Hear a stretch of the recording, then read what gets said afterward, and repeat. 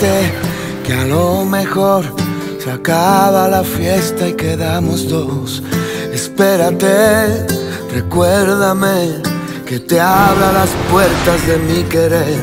Yo no seré. Me voy a dar un baño antes de meterme a la cama. Ojalá que eso me relaje. Está bien.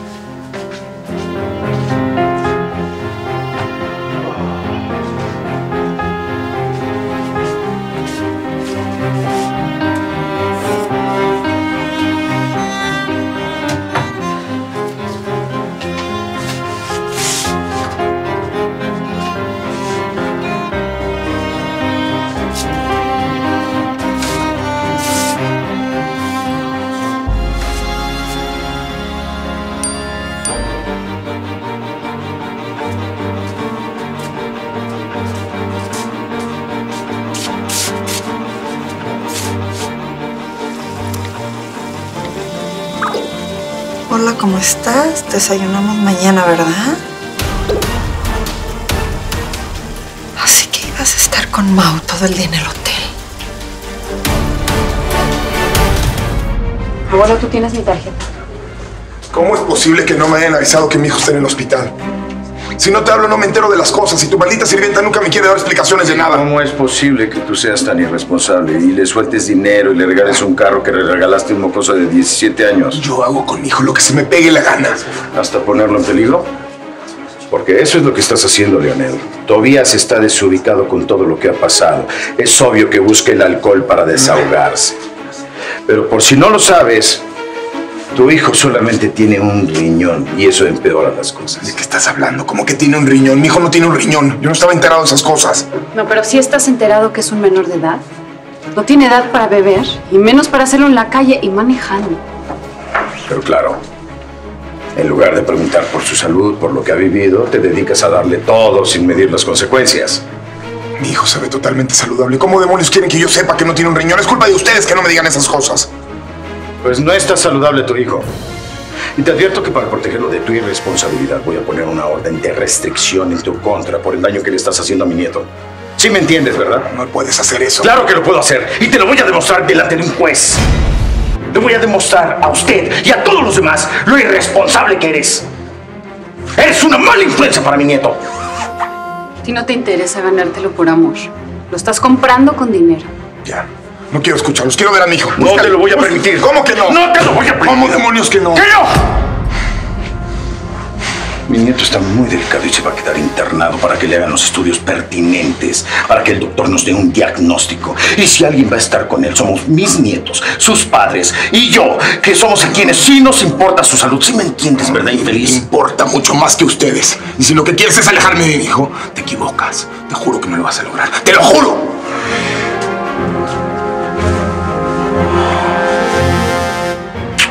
No vale la pena, abuelo. No te estreses. Mi muñeco, ¿hasta cuándo vas a entender que no puedes tomar así? Que no puedes llevar una vida como los demás chamacos. Además, no tienes edad para hacerlo. Pobre de mi chamaco. Míralo nomás. Si se está refugiando en el alcohol es porque, pues porque algo de su nueva vida no le está gustando, Chelo. No, pues ¿qué le va a gustar? Por mucho dinero que tenga ahora, no puede cambiar quién es su verdadera madre, ni el irresponsable de su verdadero padre. Nosotros pobres, pero siempre, siempre hemos estado pendientes de él. Sobre todo lo hemos llenado de amor.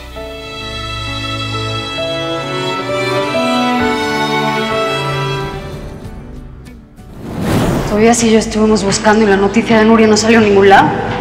Yo no me explico cómo mi tía Julieta se vea tanto detalle. Pues tal vez porque ella lo presenció. ¿Qué estás insinuando? Tal vez tu tía Julieta fue la que tuvo a Nuria estos días y la torturó. ¿Cómo puedo ayudarte, Adri? Si le pregunto a mis papás por tu tía, van a sospechar y van a saber que tú la sigues viendo. Además, con la de mi papá, no le puedo dar esa preocupación. ¿Quién me puede ayudar con eso?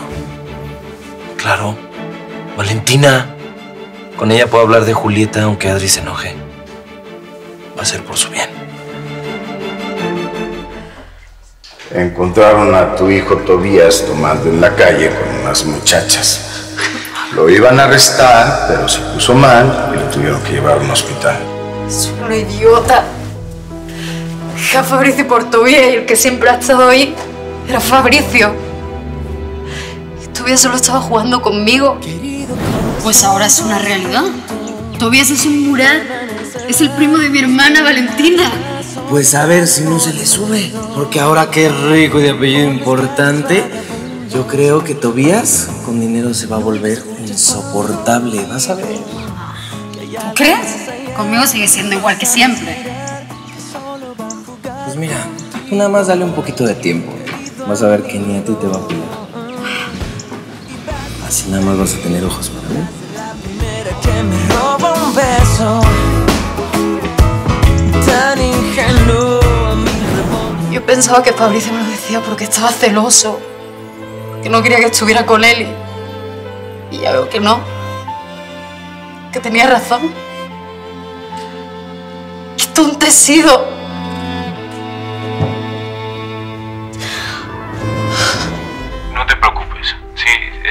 Sinceramente que todavía se recupere pronto. Ha sido una gran sorpresa para mí saber que él es el hijo de Nuria. Que el nieto de Inés ha vivido tan cerca de ustedes sin, sin ni siquiera saberlo. Para todos fue una sorpresa y creo que nadie hemos sabido manejar bien esta situación. Mau, Mau, tiempo al tiempo.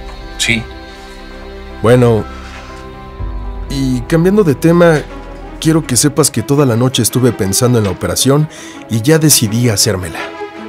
¿tú estás completamente seguro de que te quieres operar? Seguro. Me voy a operar después del lanzamiento de mi campaña y quiero que tú me pongas el implante coclear. ¿Cómo que te vas a operar? ¿Por qué te vas a operar? Contéstame, ¿por qué te quieres operar?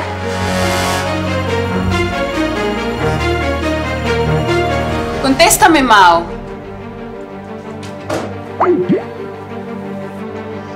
Yo quiero ser un hombre completo, sin Pero limitaciones. eres un hombre completo, aunque no escuches.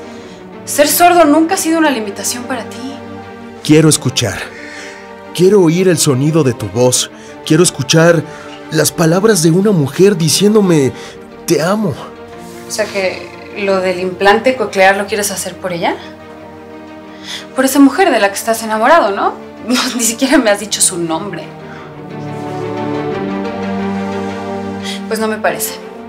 No estoy de acuerdo que hagas esto por ella ni por nadie. ¿Tú estás celosa? Pues sí. No puedes hacer eso. Nada más lo aceptaría si me dices que lo estás haciendo por ti, para ti, por nadie más. ¿Lo hago por mí? No te creo, no te creo. Tú no renunciarías a bucear en aguas profundas si no fuera por esa mujer. Y me parece increíble que ella te haya pedido algo así. No, ella no me ha pedido nada. Ella no sabe lo que quiero hacer. Entonces no lo hagas. La mujer que se enamore de ti te tiene que aceptar tal y como eres. Con tus limitaciones, porque todos tenemos limitaciones. Valentina, si tú fueras esa mujer, ¿me aceptarías así? ¿Te sería suficiente? ¿No te importaría que el hombre que te ama jamás pudiera oír tu voz y jamás pudiera decirte con palabras, te amo? Darte la razón, tu verdad lo arrolla todo es un tren. Por supuesto que si yo fuera esa mujer, te aceptaría tal y como eres.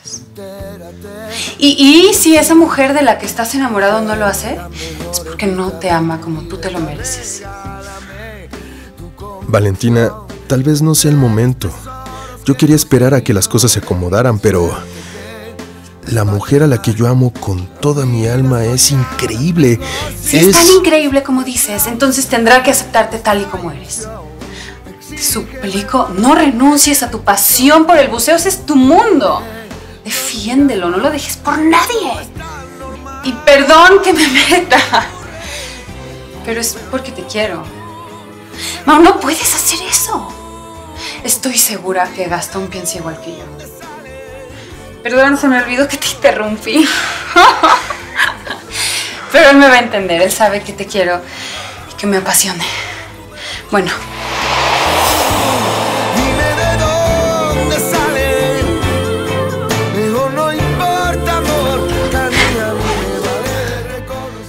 espero abajo. Vamos al hospital a ver a Tobías, ¿no? Así fue. Mira, no seré quien corte la flor.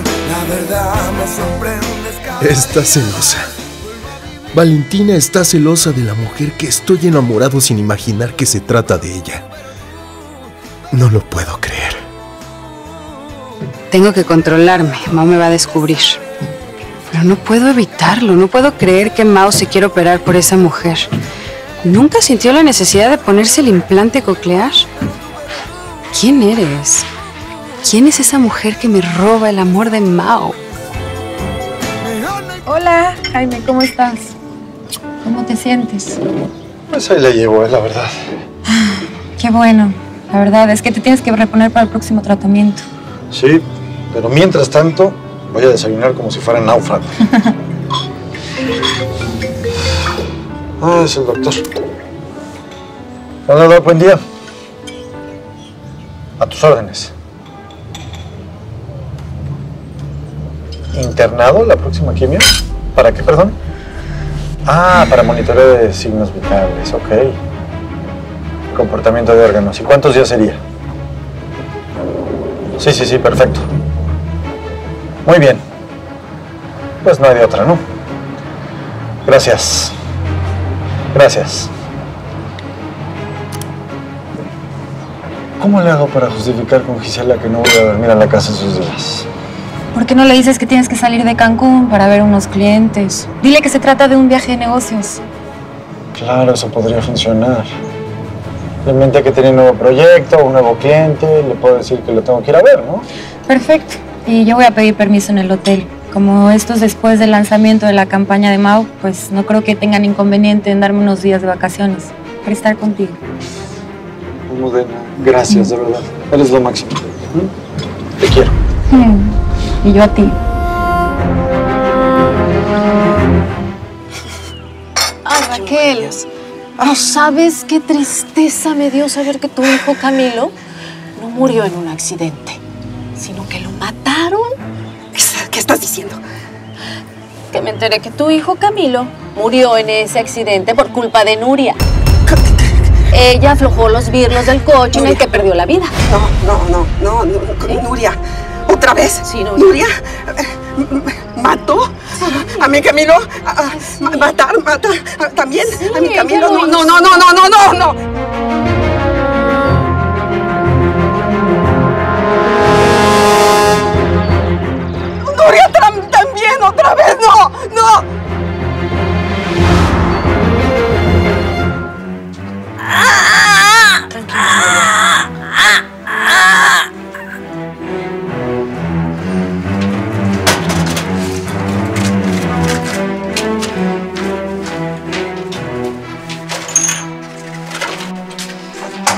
Me acabaron las gasas. Voy por una caja, no me tardo.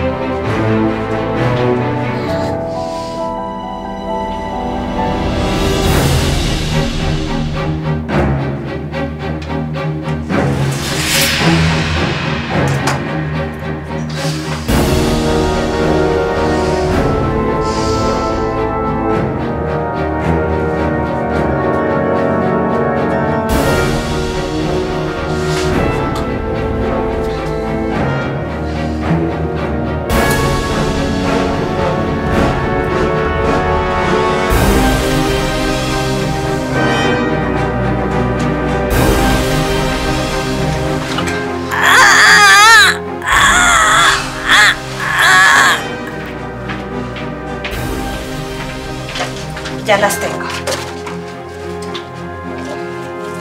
No, Tienes que no, no, no. Tranquila. No, Señora, ¿qué, ¿qué le pasa? Esta dice, dice que Nuria mató a Camilo. ¡No! ¡Matar! No, no, ¿verdad? No, fue un accidente, fue un accidente. sí, señora. Tranquilízate. No le haga caso, señora. ¿Por qué dice que sí? ¿Por qué dice que Óigame, ¿por qué le dijo eso? No, yo no lo hice. Ella lo recordó. No, ¡Ella no lo sabía!